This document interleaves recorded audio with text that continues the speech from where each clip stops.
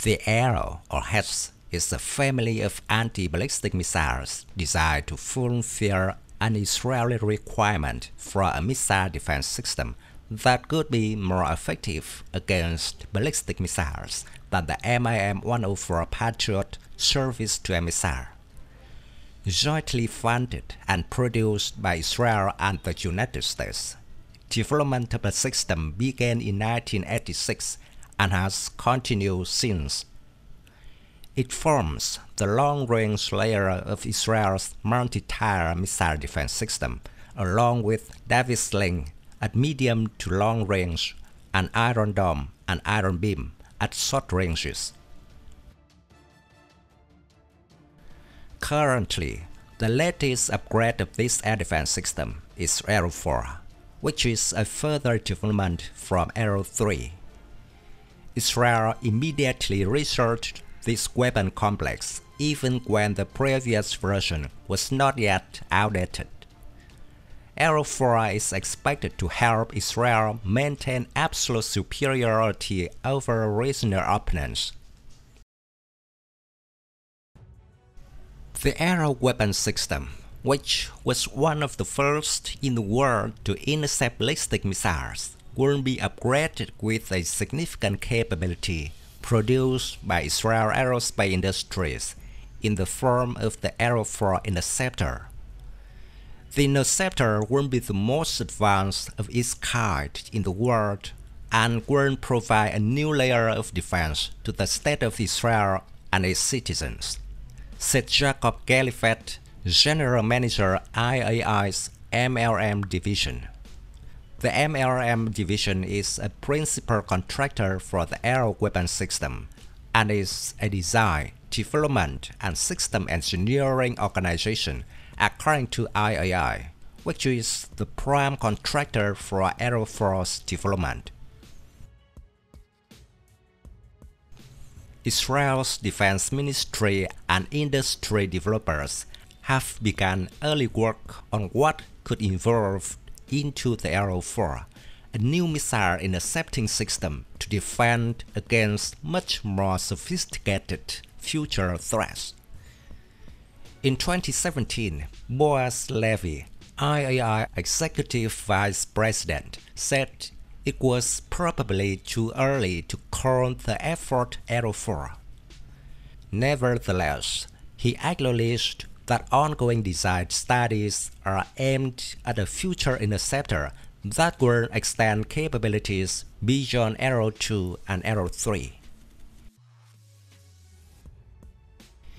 In early 2021, Israel revealed that the development of the Arrow 4 interceptor was ongoing and that the system was targeting the interception of hypersonic threats such as hypersonic cruise missiles and hypersonic glide vehicles. Efforts to counter hypersonic threats took on new urgency following a November 2022 announcement by Iran that they had tested a hypersonic missile, although its authenticity is disputed. Such a missile launched from Iran could hit Israel in as little as 4 minutes. Arrow 4 is expected to be much more complex than the Arrow 3 currently in service with the Israel Defense Forces to ensure it can neutralize all threats from the enemy in the future.